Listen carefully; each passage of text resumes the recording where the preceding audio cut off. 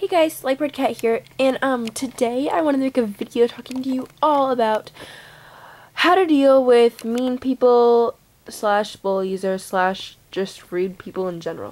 But, okay, so, um, the, the main reason why I'm making this video, there, that's fair, is because, um, I am, well, earlier today I was walking through the hall during, like, a transition time to, I can't talk, transition time between classes, and I was walking through the hall, and I forget what grade they're in, but it was like this guy, and he walked up to me, and he was just like, why are you so short?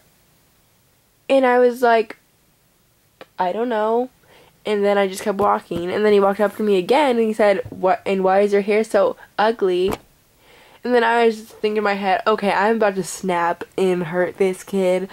But no, I didn't. I did the right thing. I just walked away. And even though he kept following me, once I got to my class, he walked away. So, yeah, and I was like, finally, you're gone. But, yeah, because he was being really annoying. But, um, yeah, I want to make this video because, like, I want to tell you guys, like, how to deal with them. And like, what to do if they're asking you things like that and they're being kind of rude to you what I did, I just ignored them, you know. And all I kept thinking was, "Oh my gosh, I don't I don't like you. You're a waste of my time." I mean, like why like why should you care what mean people or bullies say to you like if they're not going to matter to you in a couple years like once you go to college I mean you're most likely never going to see these people again so why waste your time with them why waste you know your energy dealing with them being dumb or stupid or whatever it may be. But um so yeah, just ignore them and don't give a, don't give a care what they say because they're not worth it. They're not worth your time and yeah. So yeah, guys, um that's basically all I wanted to say. Just don't listen to them. They're not worth your time and they won't matter to you. And no, before anyone asks, I'm not sad that he said I had I was short and I had ugly hair.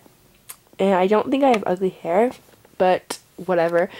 So I don't really give a care what he says because he doesn't, I don't care about that, him and he's just a waste of my time.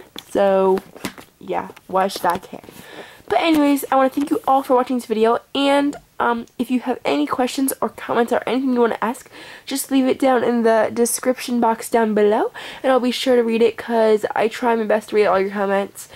Um, and be sure to like this video, and that's all I had to say for today, guys. And sorry I haven't made, been making videos in a while. I have been really busy with school um, since school just started like three weeks ago, I think. But yeah, um, I'll see you guys later. Bye!